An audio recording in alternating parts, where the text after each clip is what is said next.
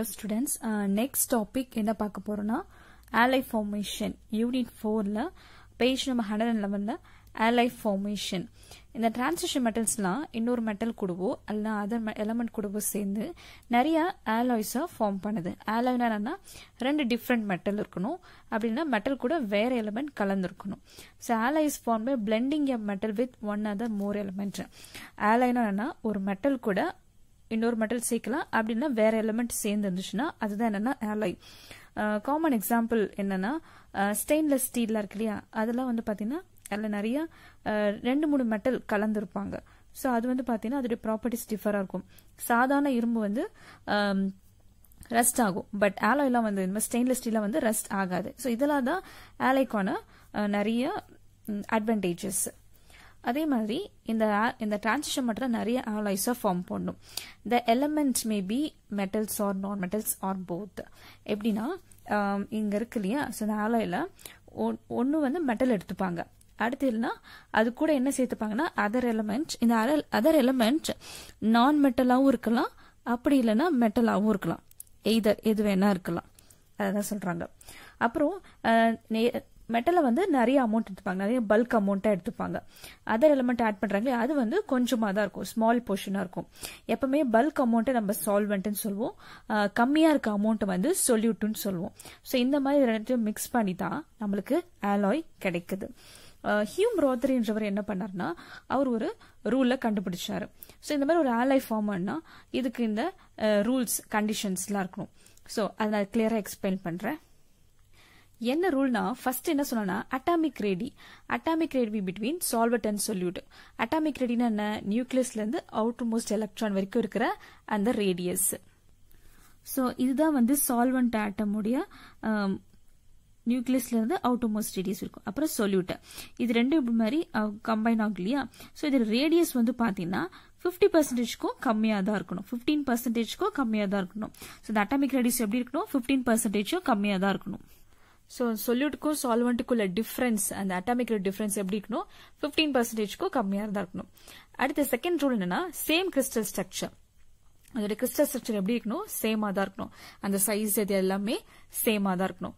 சால்வெண்ட்டுக்கும் சொல்யூட்க்கும் அதோட crystal structure எப்படி இருக்கணும்? சேமாக தான் இருக்கணும். தேர்ட் வந்து பாத்தீங்கன்னா சேம் வேலன்சி சேம் வேலன்சின்னா என்னன்னா ரெண்டுமே வந்து சேம் வேலன்சி இருந்தால் தான் நிறைய எப்படி இருக்குமா? மேக்சிமமா சொல்யூபிள் ஆகுமா? அதாவது ஒரு ஃபுல்லா ஃபுல்லாக எல்லாமே கரையும். ஸோ அதனால தான் சேம் வேலன்ஸ் இருக்குன்றாங்க. ஒன்று வந்து அதிகமான வேலன்சி இன்னொரு கம்மியான வேலன்ஸ் இருந்துச்சுன்னா அந்த சால்பிலிட்டி கம்மியாக இருக்கும். சேம் வேலன்சி சால்வெண்ட்டுக்கும் சொல்லிட்டுக்கும் சேம் வேலன்ஸ் இருந்துச்சுன்னா அங்கே மேக்ஸிமம் சால்பிலிட்டி நடக்கும். தட் மீன்ஸ் நல்லா கரையும். அடுத்து ஃபோர்த் ஒன் பார்த்தீங்கன்னா சிமிலர் எலக்ட்ரோநெகட்டிவிட்டி ஸோ எலக்ட்ரோநெகட்டிவ்னு உனக்கு தெரியும். Tendency to attract the electron இப்போ இது இந்த மெட்டல் மெட்டல் எலக்ட்ரோ பாசிட்டிவா இருந்துட்டு இன்னொரு மெட்டலோ இல்ல நான் மெட்டலோ வந்து இதுவா இருந்துச்சு நெகட்டிவா இருந்துச்சுன்னா ஸோ இந்த எலக்ட்ரோநெகட்டிவ் டிஃபரன்ஸ் வந்து எப்படி இருக்கும் சொல்லணும்னா சிமிலரா சிமிலரா இருக்குன்னு சொல்றாங்க. இதுக்கு வந்து அதிகமாகவோ எலக்ட்ரோநெகட்டிவ் இதுக்கு கம்மியாவோலாம் இருக்கக்கூடாது. எலக்ட்ரோநெகட்டிவ் டிஃபரன்ஸ் எப்படி இருக்கணும்? சேமா இருக்கணும். அப்படி இல்லைன்னா இது என்னன்னா வேற ஏதாவது மெட்டாலிக் காம்பவுண்ட ஃபார்ம் பண்றோமா? இது இது கண்டிப்பா ஒரு அலை ஃபார்ம் பண்ணா அதோட எலக்ட்ரோநெகட்டிவ் டிஃபரன்ஸ் எப்படி இருக்கணும்? சேமா இருக்கணும். ஒன்னு எலக்ட்ரோ பாசிட்டிவ் அதிகமா இருந்து ஒன்னு எலக்ட்ரோநெகட்டிவ் அதிகமா இருந்துச்சுன்னா இந்த கரெக்டான அலை ஃபார்ம் ஆகுது. ஸோ இதுதான் வந்து அந்த நாலு ரூல்ல ஹியூம் ரோதரி ரூல் வந்து கண்டுபிடிச்சு வச்சாரு. இதுதான் இப்படிதான் இருக்கணும்ன்றத ஒரு ரூல்ல வச்சாரு. ஸோ இந்த எல்லா ரூலையும் எது வந்து சாட்டிஸ்ஃபை பண்ணிச்சா? இந்த டிரான்சிஷன் மெட்டல் சாட்டிஸ்ஃபை பண்ணிச்சு. Condition to form a number of அந்த சாட்டிஸ்ஃபை பண்ணி நிறைய ஆலாயுஸை என்ன பண்ணிச்சு? ஃபார்ம் பண்ணிச்சு. அப்புறம் அதோட அட்டாமிக் சைஸ்லாம் வந்து சிமிரலா இருக்கனால அதாவது இந்த மெட்டலோட சைஸும் கூட ஆட் பண்ணுற இன்னொரு மெட்டலோட இன்னொரு எலமெண்டோட சைஸும் எப்படி இருந்துச்சுன்னா சிமிலராக இருந்ததுனால ஈஸியாக ரீப்ளேஸ் ஆயிடுச்சுன்னா அதாவது அதோடைய இதை கிறிஸ்டல் லாட்டிஸ் அதாவது அந்த கிறிஸ்டலின் ஸ்ட்ரக்சர் அந்த கிறிஸ்டல் ஃபார்ம்ல இருக்கும் இல்லையா? அதோடைய ஸ்ட்ரக்சர் எப்படி இருக்கணுமா? அந்த ஸ்ட்ரக்சர்ல அந்த எல்லாமே சைஸ்லாம் சிமிலரா இருக்கனால இன்னொன்று வந்து என்ன ஆகும்? ரீப்ளேஸ் ஆகும். இது வந்து மெட்டல்னா மெட்டல்ல இன்னொரு ஆட் பண்றோம் இல்லையா? ஸோ அது வந்து இன்னொன்று வந்து ஈஸியா என்ன ஆகுது? ரீப்ளேஸ் ஆகிடுது. இங்க இருக்க மெட்டல் ஆட்டம்க்கு பதிலாக இன்னொன்று நான் மெட்டலோ இல்லைன்னா வேற ஏதாவது எலமெண்டோட அந்த எலமெண்ட் அந்த ஆட்டம் வந்து என்னது? ஈஸியா ரீப்ளேஸ் ஆகுது. அதுதான் இங்கே சொல்லிருக்காங்க. So metal atom can be replaced by another metal atom ஒரு மெட்டல் ஆட்டமில் இருக்க சைஸ் வந்து இன்னொரு இது சிமிலராக இருக்கிறதுனால இன்னொரு மெட்டல் ஆட்டம் வந்து இது ஈஸியாக ரீப்ளேஸ் ஆகுறது. இது வந்து செகண்ட் மெட்டல் இதில் வந்து ஃபர்ஸ்ட் மெட்டல் இது இன்னொன்றுலேருந்து வந்தது. சைஸ் சிமிலராக இருக்கிறதுனால ஈஸியாக ரீப்ளேஸ் ஆயிருக்கு. அடுத்து இந்த ஆலை சோ ஃபார்ம் இந்த ஆலை ஃபார்ம் வச்சு அது எப்படி ரொம்ப ஹார்டாக இருக்கு. அது மெல்டிங் பாயிண்ட் ரொம்ப அதிகமாக இருக்கு. ஸோ அதனால நிறைய அப்ளிகேஷன்ஸ்லாம் இருக்கு. ஃபெரஸ் ஃபெரஸ் அலாய் அது மாதிரி நிறைய இருக்கு. கோல்ட் காப்பர் அலாய் ஸோ நிறைய கோல்டில் காப்பர்லாம் கலப்பாங்களே ஸோ அதெல்லாம் ஒரு அலாய் அண்ட் குரோம் ஆலைஸ் இந்த மாதிரி அதோடைய example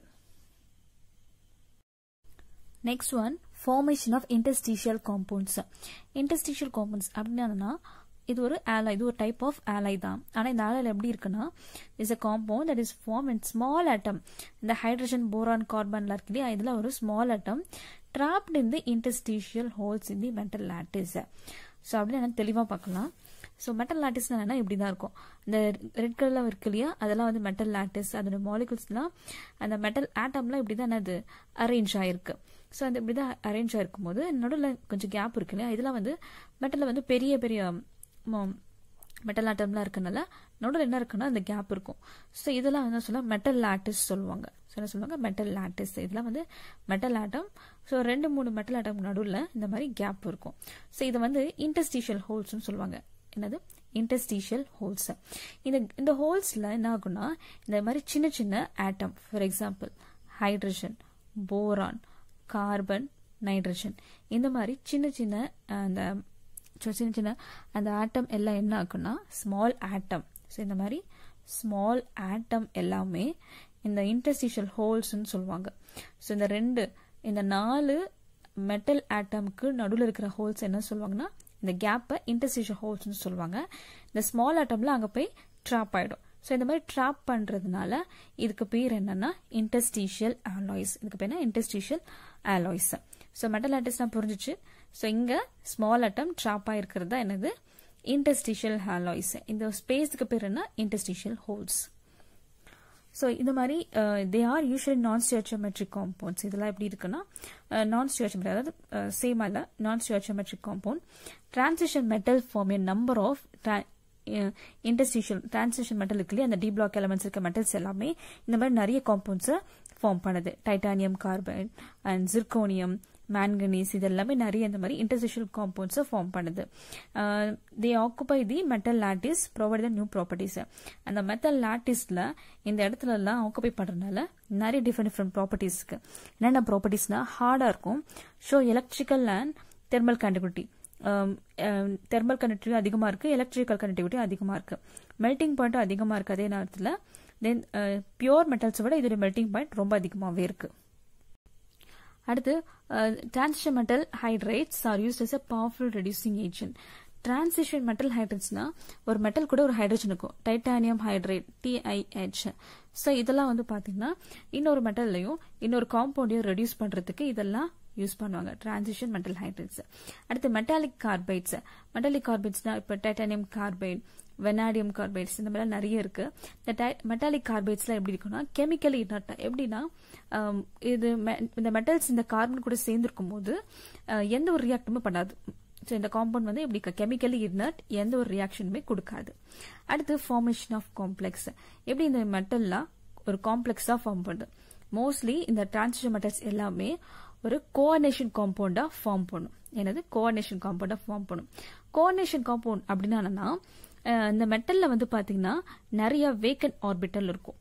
அந்த வேக்கன் ஆர்பிட்டலில் ஒரு சில எலமெண்ட் வந்து ஒரு சில அதர் எலமெண்ட் வந்து தாங்கிட்ட இருக்க ரெண்டு எலக்ட்ரானும் கொடுக்கும். எப்பவுமே இந்த மாதிரி பாண்ட் ஃபார்மேஷன் வந்து ஒன்று ஒன்று ரெண்டுமே எலக்ட்ரான் கொடுத்து ஒரு பாண்ட் ஃபார்ம் ஆகும். அது வந்து அயனிக் பாண்ட் பார்த்தோம் இல்லையா? நிறைய டிஃப்ரெண்ட் நிறைய டிஃப்ரெண்ட் டைப்ஸ் ஆஃப் பாண்ட் இருக்கு. ஒன்று கொடுத்து ஒன்று வாங்கிச்சுன்னா அதுக்கு பேர் என்னதுன்னா அயானிக் பாண்ட் இல்லையா? அடுத்து ரெண்டுமே ஷேர் பண்ணிச்சுன்னா ரெண்டுமே ஷேர் பண்ணிட்டு ஒரு பாண்ட் ஃபார்ம் ஆச்சுன்னா இதுக்கு பேர் கோவலன் பாண்ட் அதாவது மியூச்சுவல் ஷேரிங் ஆஃப் எலக்ட்ரான் அதாவது ஒரு எலமெண்ட் வந்து தாங்கிட்ட ரெண்டு எலக்ட்ரானையும் கொடுத்து ஒரு பாண்ட் ஃபார்ம் ஆச்சுன்னா இதுக்கு பேர் தான் கோஆர்டினேஷன் பாண்ட் கோஆர்டினேட் கோவலன் பாண்டுன்னு நீங்கள் நைன்த் ஸ்டாண்டர்ட்லேயும் படிச்சிருப்பீங்க. ஸோ இதுக்கு பேர் என்னது? கோஆர்டினேட் கோவலன் பாண்ட் ஒன்று தான் ரெண்டுத்தையும் கொடுக்குது. ஸோ அதனால் இதுக்கு பேர் என்னது? கோஆர்டினேட் கோவலன் பாண்ட் எது வந்து வாங்கிக்குதோ அது வந்து இங்கே மெட்டல் ஸோ மெட்டலோட இது பண்ணால் நிறைய வேகன்சிக்குனால மெட்டல் என்ன பண்ணுதான் ரெண்டு பேர் ஆஃப் எலக்ட்ரானை வாங்கிட்டு ஒரு பாண்டை ஃபார்ம் பண்ணுது. இன்னொன்று வந்து கொடுக்குது இல்லையா? அதுக்கு இன்னொரு நேம் இருக்கு. அதுக்கு பேர் என்ன? லிகான் இதை பற்றி சாப்டர் ஃபைவ்ல ப்ரீஃபாக படிப்பீங்க. இப்போ கோவலன் பாண்டா என்ன தெரிஞ்சுக்கோங்க. ஒன்று கொடுக்கும் ஒன்று வந்து ரெண்டு எலக்ட்ரானை கொடுக்கும். ஒரு மெட்டல் வந்து வாங்கிக்கும். மெட்டல் என்ன பண்ணுது? அக்செப்ட் பண்ணுது. ஏன்னா அதுக்கிட்ட வேக்கண்ட் இருக்கு. ஒன்று கொடுக்குது இல்லையா? அதுக்கு பேர் என்னன்னா லிகான் இதுக்கு பேர் என்னது? கோஆர்டினேட் கோவலன் பாண்ட் ஸோ இதை பற்றி தான் இங்கே போட்டிருப்பாங்க. Um, ability donate with a species that has an ability to donate a pair of electron to form a coordinate covalent bond. இப்போ சொன்னதுதான். மெட்டல் அயன்ஸ் இருக்கு இல்லையா? அதில் வந்து ஸ்மாலாக இருக்குமோ? ஹைலி சார்ஜாக இருக்கு. அதில் என்ன இருக்குன்னா நிறைய வேக்கன் லோ எனர்ஜி ஆர்பிட்டல்ஸ் அதிகமாக இருக்கு. அவ்வளோ லோ வேக்கன் ஆர்பிட்டல் அதிகமாக இருக்கனால ஈஸியாக ரெண்டு எலக்ட்ரானை accept பண்ணிக்குது. So donated a pair of electron electron பேர் அடுத்து இந்த ப்ராப்பர்ட்டிஸ்னால இந்த டிரான்சிஷன் மெட்டல் என்ன பண்ணுறது இந்த மாதிரி நம்பர் ஆஃப் கோஆர்டினேஷன் காம்பவுண்டை ஃபார்ம் பண்ணுது. கோஆர்டினேட் பாண்ட் இருக்கிற அந்த காம்பவுண்ட் பேர் என்ன கோஆர்டினேஷன் காம்பவுண்ட் அதுக்கு இன்னொன்று காம்ப்ளெக்ஸ்னு சொல்லுவாங்க. என்னது? காம்ப்ளெக்ஸ் ஸோ இந்த காம்ப்ளெக்ஸோ இல்லைனா கோஆர்டினேஷன் காம்பவுண்ட் இருக்கு இல்லையா? அதே மாதிரி ப்ராக்கெட்டில் தான் போடுவாங்க. ஸோ இது வந்து ஒரு கோஆர்டினேஷன் காம்பவுண்ட் சாப்டர் ஃபைவ்ல அதை பற்றி டீப்பாக பார்ப்போம். அடுத்து இம்பார்ட்டன்ட் காம்பவுண்ட் டிரான்சிஷன் எலமெண்ட்ஸ் இந்த மாதிரி டிரான்சிஷன் மெட்டல் வந்து நிறைய ஆக்சைட்ஸாக ஃபார்ம் பண்ணுது. டிரான்சிஷன் மெட்டல் என்னன்னா மாலிகுலர் ஆக்சிஜன் கூட ஹை டெம்பரேச்சரில் ஹீட் பண்ணும்போது இந்த மாதிரி டிரான்சிஷன் மெட்டல் ஆக்சைட் ஃபார்ம் பண்ணுது. ஆனால் எக்ஸப்ட் ஸ்கேண்டியமை தவிர ஃபர்ஸ்ட் மெம்பர் த்ரீ டி சீரீஸில் ஸ்கேண்டியம் இருக்கு இல்லையா? அதை தவிர எல்லாமே மெட்டல் ஆக்சைட்ஸை ஃபார்ம் பண்ணும். ஆக்சிடேஷன் நம்பர் ஆஃப் மெட்டல் வந்து பார்த்தீங்கன்னா பிளஸ் டூலேருந்து செவன் வரைக்கும் இருக்கு. நம்ம ஏற்கனவே பார்த்துருக்கோம் இல்லையா? அதோடைய ஆக்சிடேஷன் நம்பர் எங் எப்படி டிஃபர் ஆகுது? பிளஸ் டூல இருந்து செவன் வரைக்கும். டூல இருந்து செவன் வரைக்கும். மேங்கனீஸ்க்கு பார்த்தீங்கன்னா அதிகமான ஆக்சிடேஷன் ஸ்டேட் அடுத்து இந்த ஆக்சிடேஷன் நம்பர் இன்க்ரீஸ் ஆக இன்க்ரீஸ் ஆக அதோட அயனிக் கேரக்டர் என்ன ஆகுதா? டிக்ரீஸ் ஆகுதா? அப்படி பார்த்தா இதுக்கு ஆக்சிடேஷன் நம்பர் எதுக்கு அதிகமா இருக்கு? மேங்கனீஸ்க்கு தான் அதிகமா இருக்கு. அதனால இதுக்கு வந்து அயனிக் கேரக்டரே கிடையாது. இது எப்படியா? கோவலன் தான். ஸோ மேங்கனீஸ் என்னது பியூர்லி கோவலண்ட் செம்மன் ஓ ஓ வந்து பியூர்லி கோவலண்ட் ஹையர் ஆக்சைட்ஸ்லாம் வந்து பார்த்தீங்கன்னா எப்பவுமே எப்படி இருக்குமா அசிடிக் நேச்சராக இருக்குமா. அதே மாதிரி பார்த்தீங்கன்னா மேங்கனீஸ் தான் ஹையர் ஆக்சிடேஷன் நிறைய இருக்கு. பெர் மேக்னிக் ஆசிட்லாம் இது வந்து என்னது வாட்டரை டிசால்வ் பண்ணும்போது பெர்மானிக் ஆசிடாக ஃபார்ம் பண்ணுது. அதே மாதிரி குரோமியம் வந்து பார்த்தீங்கன்னா குரோமியம் அதே மாதிரி அதுக்கு அடுத்த ஆர்டர் எதுனா குரோமியம்க்கு தான் அதிகமான ஆக்சிடேஷன் நம்பர் இருக்கு. குரோமியம் இந்த மாதிரி ஆசிட் ஃபார்ம் பண்ணுது. கிவ்ஸ் குரோமிக் ஆசிட் ஃபார்ம் பண்ணுது dichromic acid H two CR two O seven இந்த மாதிரி ஆசிட்ஸாக ஃபார்ம் பண்ணுது லோவர் ஆக்சைட்ஸ்ல எப்படி இருக்குன்னா ஆம்போட்டெரிக் ஆம்போட்டெரிக்னா எது பேசிக்காவும் react பண்ணும் ஆசிடாவும் ரியாக்ட் பண்ணும். ஸோ லோவர் ஆக்சைட்ஸ் ஒன்று ஆம்போட்டெரிக்கா இருக்கும் இல்லைன்னா பேசிக்கா இருக்கும். குரோமியம் த்ரீ oxide வந்து பாத்தினா ஆம்போட்டெரிக்கா இருக்கு. Either acidic or basic. And chromium two oxide எப்படி இருக்குன்னா பேசிக்கா இருக்கு. பட் எதுக்கு அதிகமாக இருக்கோ அதெல்லாம் எப்படி இருக்கு? பெர்மேக்னிக் ஆசிடா இருக்கு இந்த மாதிரி மேங்கனிஸ் எல்லாமே அசிடிக் நேச்சரா இருக்கு Wave Mile.